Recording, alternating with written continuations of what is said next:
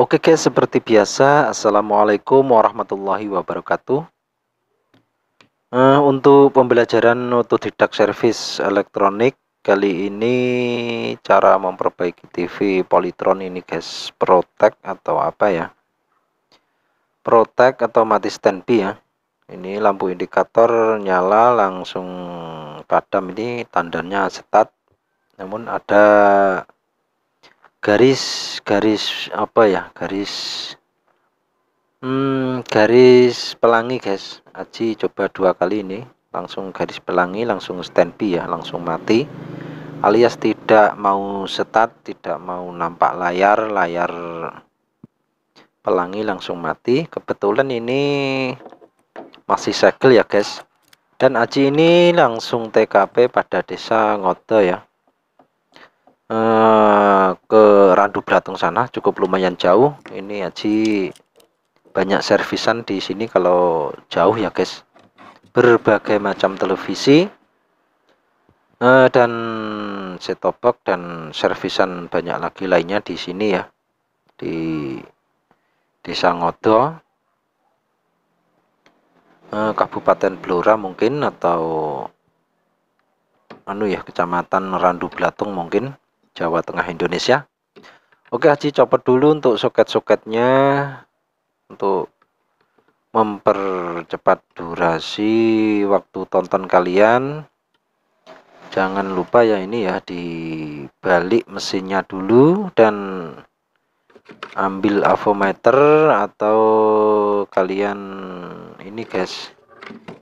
Sebentar guys Aji balik dulu guys di balik mesinnya ambil avometer kita tancapkan yang ground problem merah merah eh hitam ke grounding CRT biasa.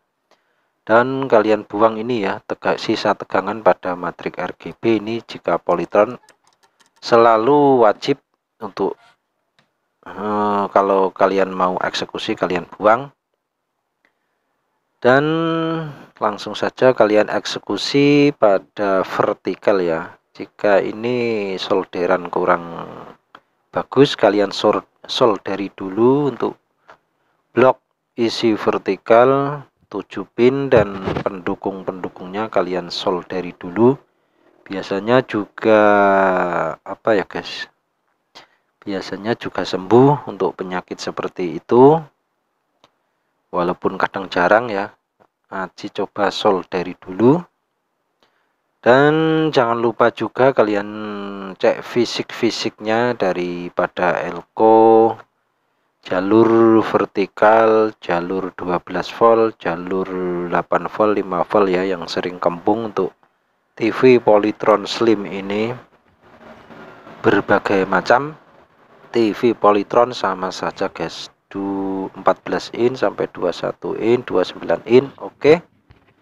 Aji tes dulu setelah solder ulang ya. Aji konekkan dulu ke remote-nya setatkan. Waduh.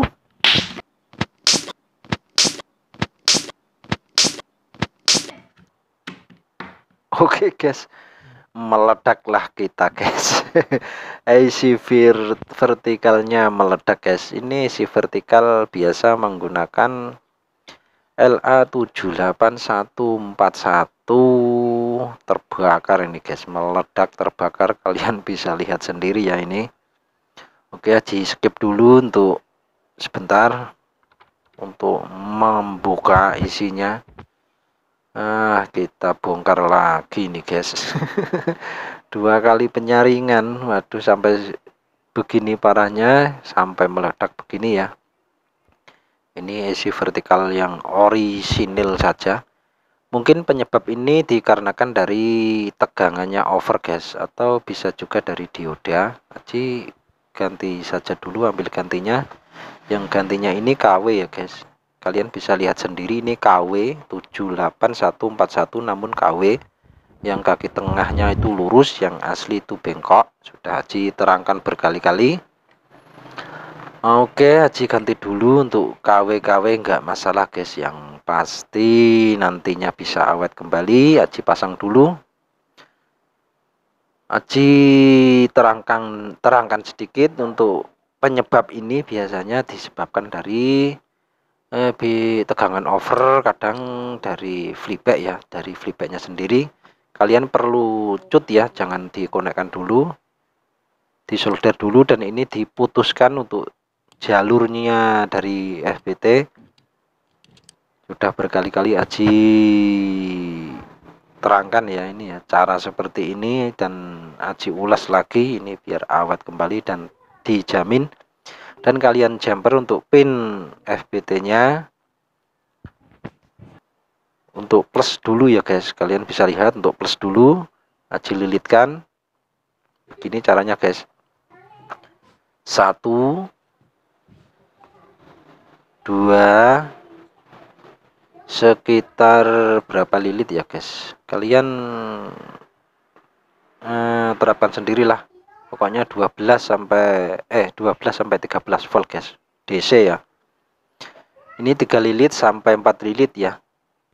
Ini mengurangi over pada tegangan vertikal biar vertikal tidak cepat panas dan awet kembali. Untuk yang minyak kalian cut juga ya untuk tegangan yang simetris ini guys. Plus dan min. Untuk yang mainnya main main le main le main kalian perlu juga untuk melilitkannya kebalikannya ya. Satu. Kalau tadi tiga lilit kasih ini empat lilit atau lima lilit. Kalau tadi empat lilit ya kalian sesuaikan saja sendiri dan cek tegangan ya perlu ya. Dan konekkan ke resistor 1 ohm. Setelah dililit tadi ya ujungnya masuk ke playback dan ujungnya lagi masuk ke resistor 1 ohm guys. Tegangan simetris min dan plus dan Aji coba untuk tes kembali. Ini bisa dikatakan dari cara me, uh, mengatasi isi vertikal yang cepat panas dan cepat jebol cepat ganti. Caranya juga bisa dimodifikasi seperti ini. Dan masih banyak lagi trik lainnya. Semoga bermanfaat nah, jangan sampai lupa nah, kalian subscribe jika berkenan dan sampai jumpa lagi di video berikutnya ya. Nah, ini penting juga kalian oh, normalkan dengan elko jika melemah kalian.